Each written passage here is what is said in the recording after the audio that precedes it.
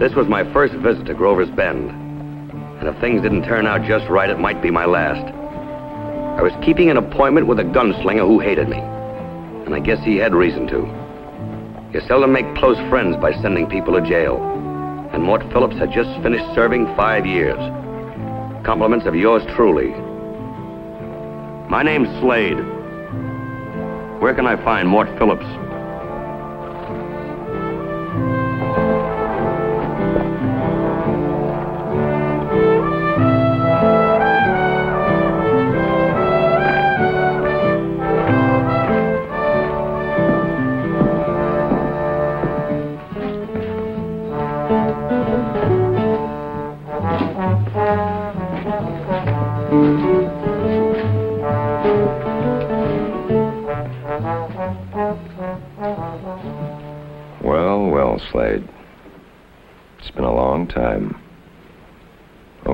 Years.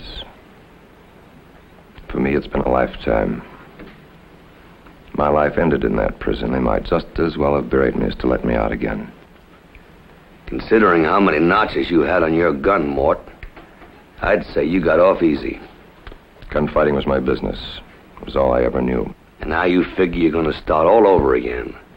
Right where you left off, huh? With me. I figured you'd come when you got the word. I outshot you once before, Mort. Now, what makes you think I can't do it again? Not this time you won't.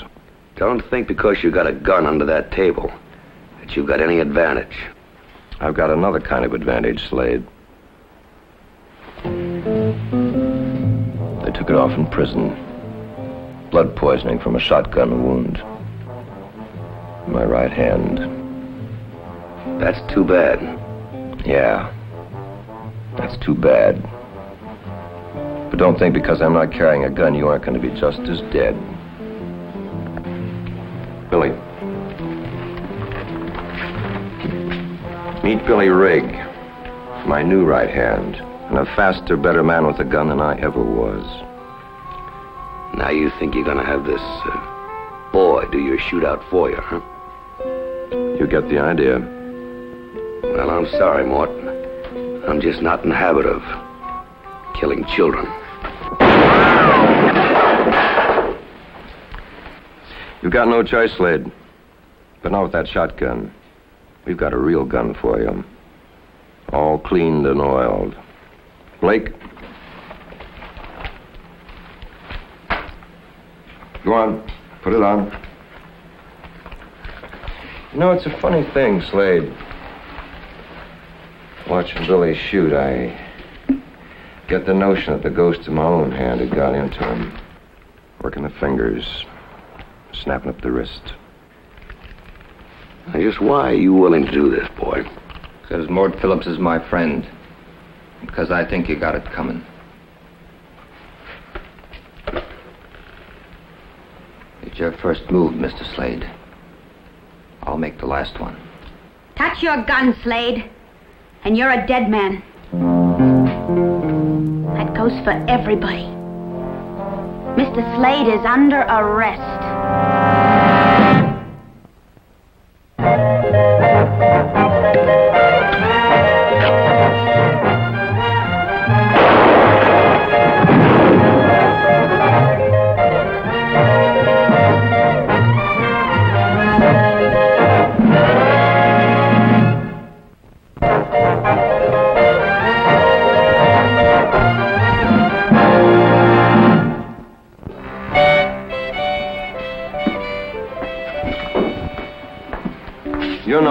Here, Lydia.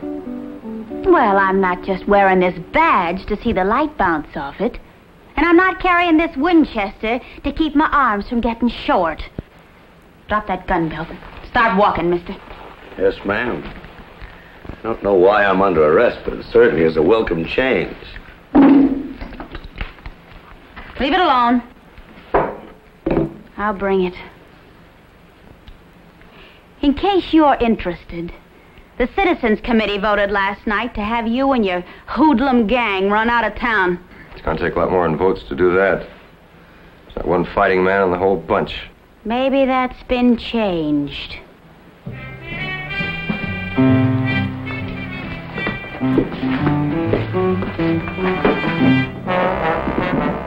Straight to the jail, Mr. Slade.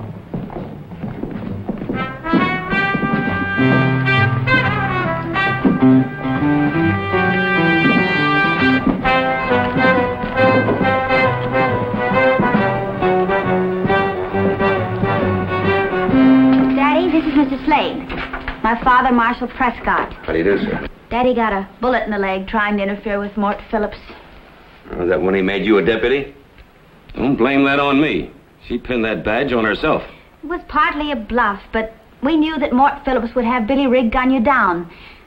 And we needed you. We? The Citizens Committee. We had to organize to try and stop Mort Phillips and his gang. It's still a vigilante movement and outside the law. So's Mort Phillips outside the law. We're only fighting fire with fire. Will somebody please tell me what's going on around here? We want you to investigate Mort Phillips. What's there to investigate? Nothing but an ex-gunslinger with a prison record. And a grudge against the world. Do you know why Mort Phillips came to Grover's Bend in the first place, Mr. Slade? Oh, I don't.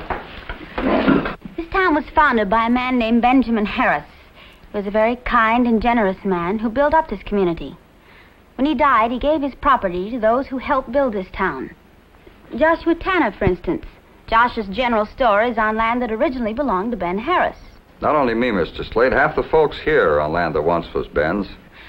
Then, two months ago, Mort Phillips came to town claiming that his real name was James Harris, that he was the brother of Ben. Did he have any proof? Some old letters, correspondence between Ben Harris and his brother, dated many years prior to Ben's death. Phillips claims them letters give him title to the property. That sounds like a decision for a court to make. Mort Phillips won't wait for a court decision. He says he knows he's within his rights in taking over the property.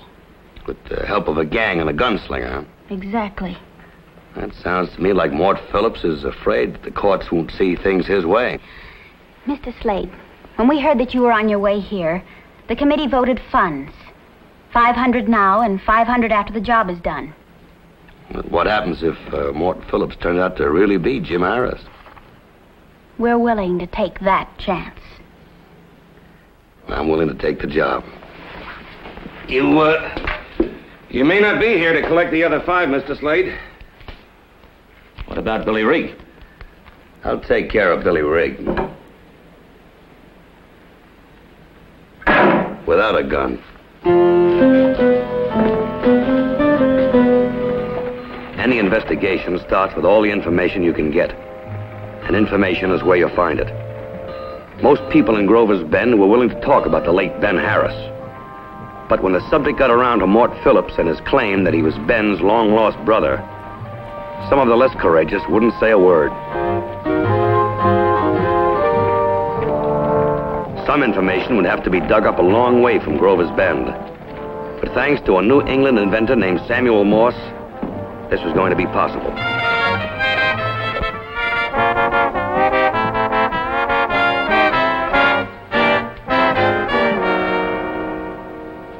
Billy.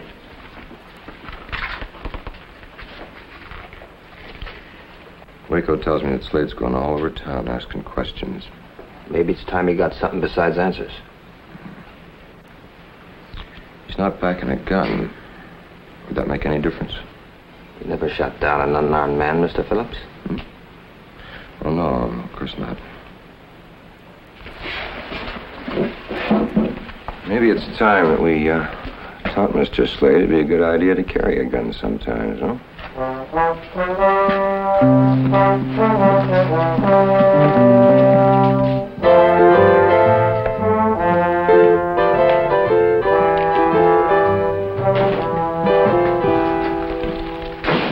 Mr. Slade, I want to thank you for your part in helping arrest me this morning. the credit all goes to Lydia Prescott for that. Sit down. Thanks. Now, there's a woman who would make a great newspaper man. What can I do for you, Mr. Slade? I wonder if you could tell me, who knew Ben Harris's brother James? Nobody. You mean he never existed? No, I don't mean that, Mr. Slade. When Ben Harris settled here, his, his brother James was in the East somewhere. I knew Ben had a brother. He had me witness a legal document once. It had to do with the sale of some property in St. Louis, and James's signature was on it.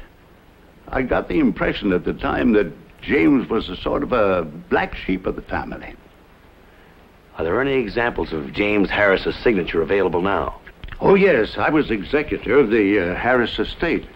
And there's several letters from James Harris among Ben's effects. Has any attempt been made to compare them with uh, samples of Mort Phillips' handwriting? What handwriting?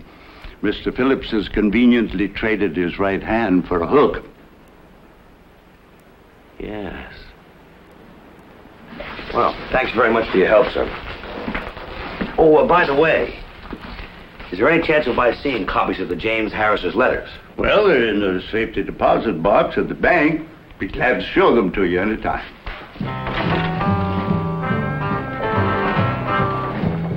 I'll know by this time tomorrow. That'll be necessary.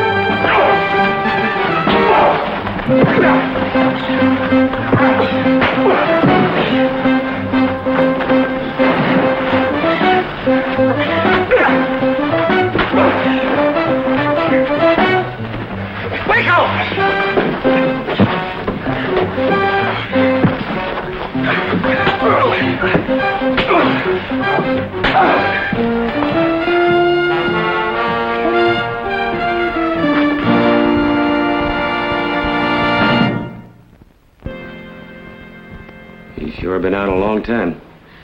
I'm worried, Daddy. Hmm. You're doing just fine, ma'am. Don't worry. You've been playing possum.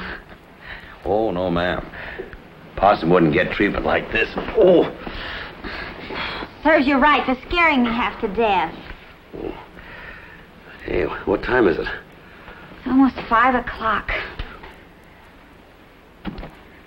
Mr. Slade, we have no right to ask you to get mixed up in all of this. You have every right to. It's my business. It's the way I make my living. All the money in the world's not worth getting killed for. It's sure nice to know that somebody cares. Thanks. Lydia. Keep the 500. Leave town tonight. I'll explain it to the committee. Nobody could blame you. You're not suggesting that I uh, run out on Billy Rigg, are you? I don't want him to kill you. Supposing I kill him, Lydia. No, no, you couldn't. I, I I mean, he's too fast a gun, and nobody could stand up against him. You know, it just came to me that you might have had another reason for stopping that shootout this morning. I don't know what you're talking about. Look at me. Don't you know? If it's humanly possible, Lydia, I promise you. I'll try not to kill him.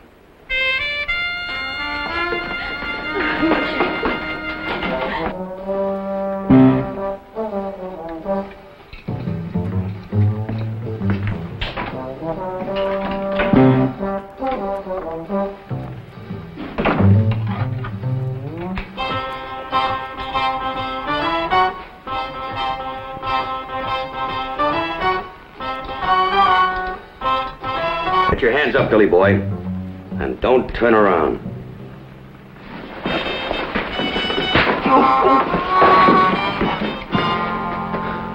What's your game, Slade?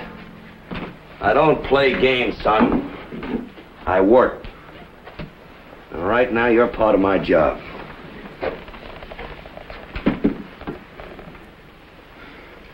Well. Nice balance here. And what do you know? No notches. What's the matter, boy? Haven't you been earning your keep? Or hasn't Mort Phillips asked you to gun down anybody else but me yet? Get to the point. What do you want? All right. How long have you known Mort? Uh, one, five, ten years? I've known him long before you framed him for that holdup and got him sent to jail. But you were scared of him, Slade. That's why you ruined his hand. He must have been just a kid then. I can see how a gunslinger like Mort Phillips could make quite an impression on a kid. He saved my life. That's what I've heard. Maybe that don't mean anything to you, Slade. But Mort Phillips gunned down a wild, drunken bullwhacker who was beating me to a pulp with his whip. Yes, and I can see how you could be very grateful for that. But tell me something. Was killing that wild, drunken bullwhacker the only way you could have stopped him? No use running Mort Phillips down, Slade. I know him, and I know you. Now listen. Supposing I can prove to you that Mort Phillips is a phony. A yellow-bellied coward that hasn't got the nerve to shoot an old lady, even in the back. You're the one who's lost his nerve, Slade. You're crawling to get out of a gunfight you got no stomach for. You're right about that last part. I sure got no stomach for it. But listen, do you really believe that Lydia Prescott and the good citizens of this town are trying to cheat Mort Phillips out of something that belongs to him? Of course they are. This whole town practically stole that property from Mort's brother. Now, supposing I can prove to you that the real Jim Harris died six years ago with one of Mort's bullets in him. Mort wouldn't lie to me. If he says he's Jim Harris, that's good enough for me. You're in for some shocks and surprises, Billy boy. Shocks and surprises. Incidentally, does Mort know you're seeing Lydia Prescott on the sly? Did she tell you that? Not in so many words. Watch out for her, Billy. A woman like that can take the teeth out of a gunfighter. Any of them. Here. Don't use that unless you've thought about it for a long time.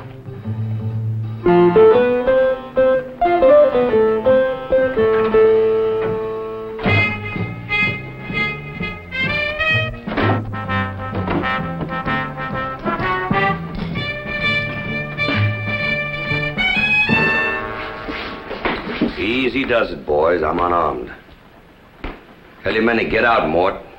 I want to talk with you. All right, man.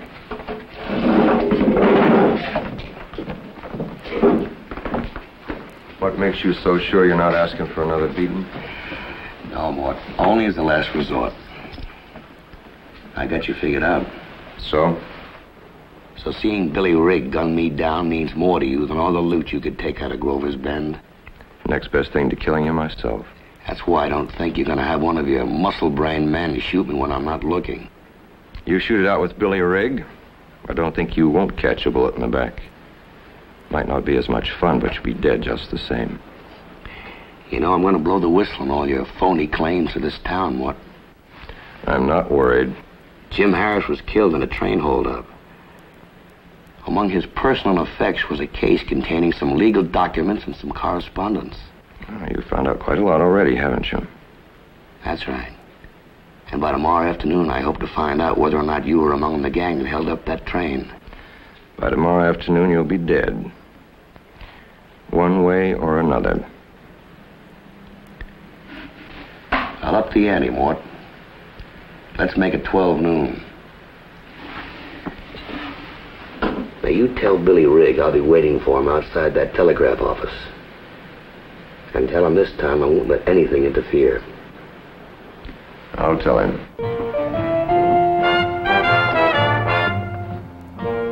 By mid-morning next day, the whole town seemed to know about my date with Billy Rigg at high noon. There was one person in Grover's Bend that the news upset more than anyone.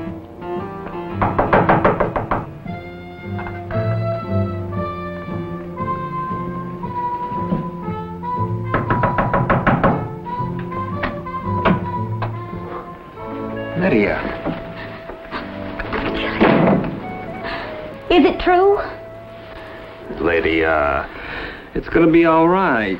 I can't lose. You can't lose. What happens to you after you've killed Slade? You mustn't go through with it, Billy. I have to. You don't understand. It's a, a point of honor. I owe this to Mort Phillips. You owe him nothing. What about yourself? Us. It won't change anything. Why does it have to? Because you'll have killed a man. A man whom you have nothing against personally. Doesn't that mean anything to you? It does when I think about it. But then, I remember what that man did to Mort Phillips, and it makes it easy. For the last time, Billy.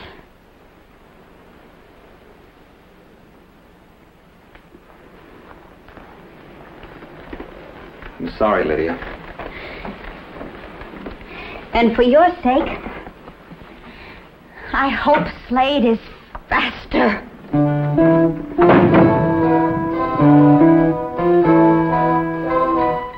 By ten minutes to twelve, Grover's Bend was beginning to feel like a bomb about to explode. Word must have even reached out of town. For about now, riders from the outlying ranches were beginning to show up. I'd gone to the telegraph office once that morning, I'd been there a dozen times. But the one bit of information I was counting on to blow this thing wide open had still not arrived. Slade! Now take it easy, Lydia. Hang on to yourself. Nothing's happened yet. He'll be here any minute now. It's almost noon. Whatever happens, don't you try to stop it, do you hear?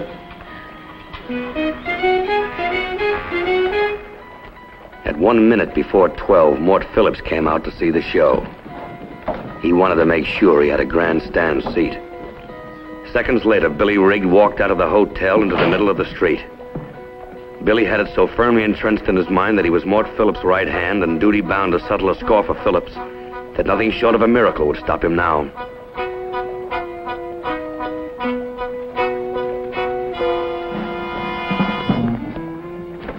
The miracle came, and it came in the form of the message I've been waiting for. A message brought by thin strands of wire across a thousand miles of wilderness. Just words, but they saved Billy Rigg from himself. Mr. Eckhart? Well, I'll be. Show it to Billy Rigg. Yeah. Billy, this is something you've got to see yourself. It's some kind of a trick. I don't believe it. This isn't true. Supposing we find out, Billy.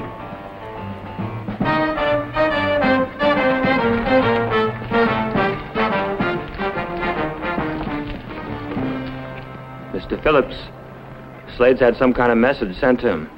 Supposed to be from the prison where you were. I reckon he's just showing his color again, Billy. Anything to keep from getting what's coming to you, eh, Slade? It says you never had any operation while you were in prison. That when you left there, you had both hands. Both of them, huh? What do you call this, Slade? Does that look like a hand to you? It looks like a hook strapped over a hand to me, Mort. Ah, just what I thought. He only had one practical reason for this hook, Billy. It kept him from having to duplicate Jim Harris's handwriting, but he had another reason, a real one. When Mort Phillips left prison, he had all the cynical hatred of a killer. But he just lost his nerve.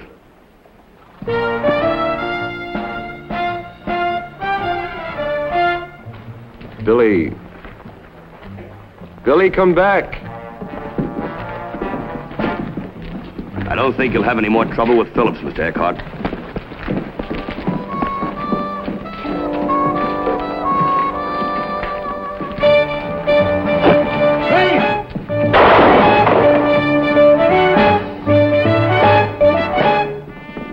You won't have to pretend anymore, Phillips. Let's go.